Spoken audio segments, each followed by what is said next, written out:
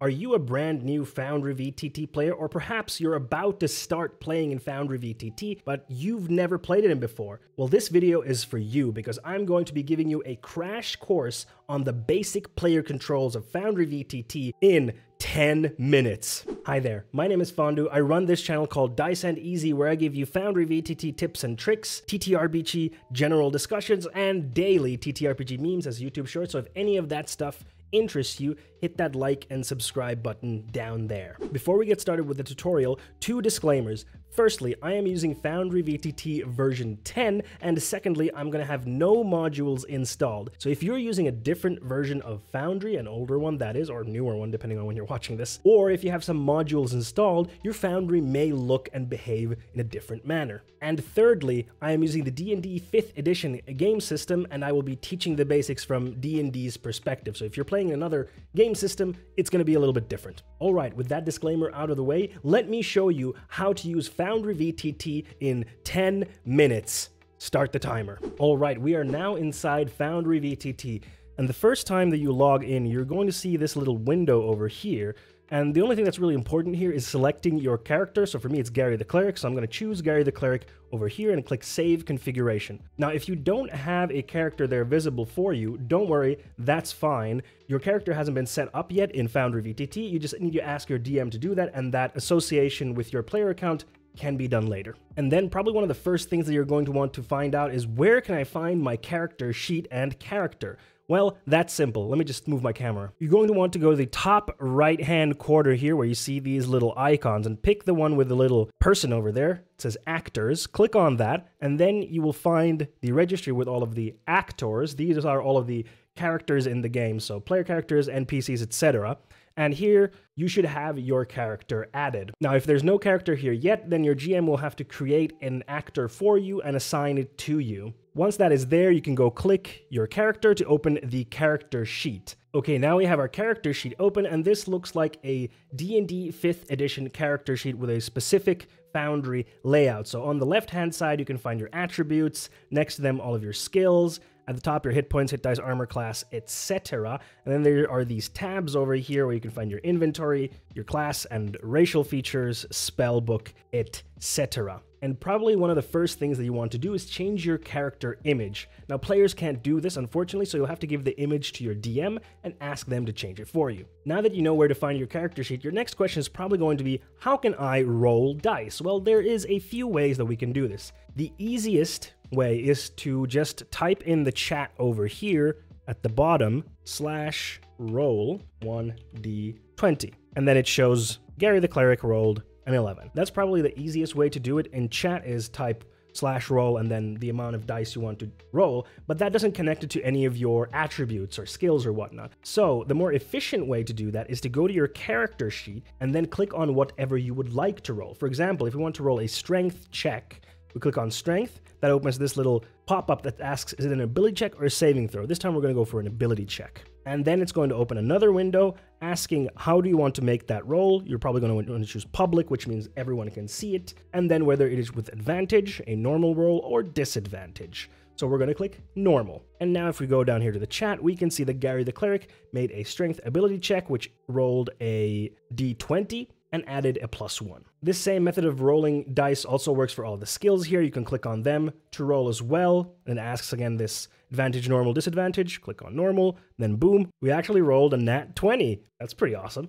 Anyway, that's how you roll your skills and abilities. If you want to roll an attack, you could manually type out the formula. It's pretty cumbersome, or you just go to your inventory, go to the weapon of your choice. You see this little dice icon appears over the picture when you hover your mouse Click there, and then it will add a little pop-up to the chat, and here you will press the attack button to roll an attack roll, normal roll, and then if it hits, you can press the damage button to roll for a damage roll, which is a normal roll. And then boom, we have the roll to hit and the roll for damage. You can do the exact same thing for spells if you go to your spell book, and then, for example, if we choose Guiding Bolt, we click the little dice icon over here. It's going to ask if we want to consume a spell slot, and we're going to choose yes, and which level spell slot we're going to want to use. Cast spell. And same, the pop-up appears down here and we can use the attack and damage buttons to roll for hitting and rolling for damage. Now, one hint here is that you're going to want to open your character sheet a lot if you're rolling for the same things all the time. You can save some time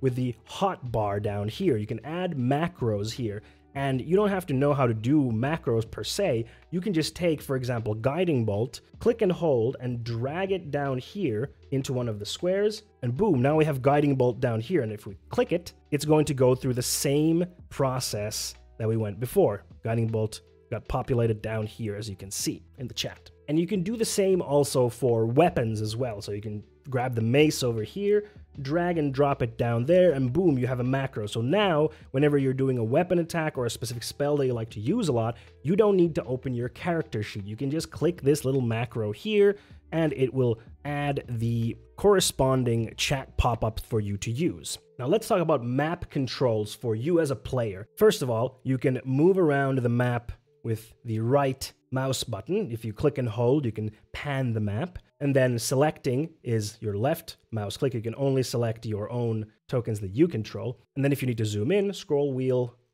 up and down to zoom in if you want to see closer. And this is our character, Gary the Cleric. And on the left hand side, the top, you see your map controls. You have the select tokens control here for the token controls. Remember that if you're on another tool, like say the measure distance tool, and you try to select a character, it's not going to work. So make sure that when you're selecting your token, you are always in the select tokens tool. And then you have a select targets tool here. So you can click on, for example, this enemy over here, click select targets, and these target arrows appear around it so that you shows that what you're targeting. And then we have, as I said before, the measure distance tools. If you need to measure distances, you can just draw from a spot to see how far something is. And then if you want to move your token, you can simply just left click and hold to drag it and it will move to where you want. Or optionally, you can use the WASD keys to move around as well. Then let's talk about the two other tabs over here. So this is measurement controls. These are essentially measurement templates for you to measure out,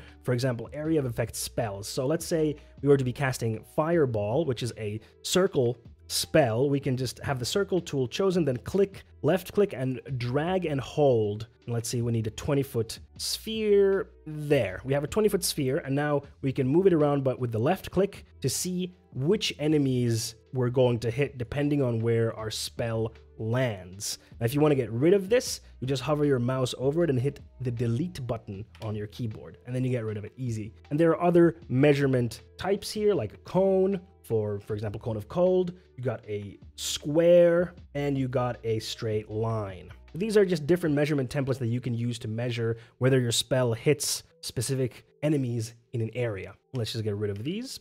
Lastly, we have journal notes. Now, this is mostly going to be on the GM's control because the GM has to add journal notes into a map if you would like to see them and then they're going to be visible as little pins that you can open. But that's for the GM to add into a map if they want to. You can also toggle the notes display off if the pins are disturbing you on the battle map or whatever map you are on. And let's just go back to our token controls just to be sure that we can select our token. All right, let's look at combat then. So to initiate combat, the DM selects all of the tokens on the map that are going to be part of the combat and then adds them to combat. The first thing that we're of course going to want to do is roll for initiative. There's two ways we can do this. We can double click on our token to open our character sheet and then go to the initiative number over here and click on the initiative title. That is going to ask us whether it's an advantage, normal, or disadvantage roll, and then we can roll, and boom, there we go. We rolled a 13. The other way that we can do this is by going to the combat tab. Let me just move my camera. So if we go to the top right over here, you see these two little swords? It says combat encounters. Once all of the characters have been added to the combat encounter, there's a little dice icon here that you can click that says roll initiative. If you click that, once again, it's going to ask you how you want to make that roll. Let's do it a normal roll.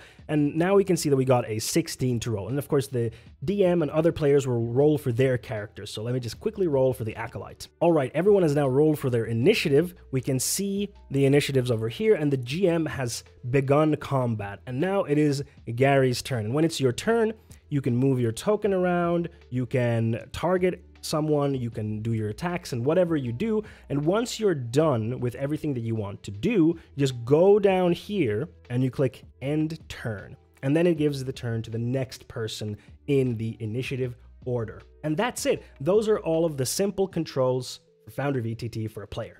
And there you have it, the basic player controls for Foundry VTT in 10 minutes. At least I hope so. Let's see if we made it in 10 minutes or not. Was this video helpful for you? If so, leave a like and comment down there and send this video to any new players that you know so they can learn the basics quickly.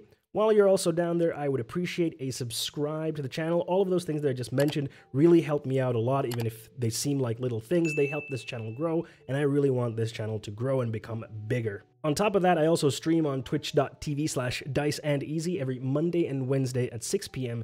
Eastern European Time, that is 8 a.m. Pacific, 11 a.m. Eastern, where I talk about TTRPGs and go through VTTs and Foundry VTT as well, and also play some video games. I would love to see you over there. Link to that you can find in the description below. And on the screen right now, you're going to see another video of mine where I show you how to import your D&D character from D&D Beyond over to Foundry VTT. So if you're a new player and you would love to get your D&D Beyond character from D&D Beyond to Foundry VTT, watch this video and send it to your DM so that they can set up everything necessary for it. All right, thank you very much for watching this video, and I will see you in the next one. Bye-bye.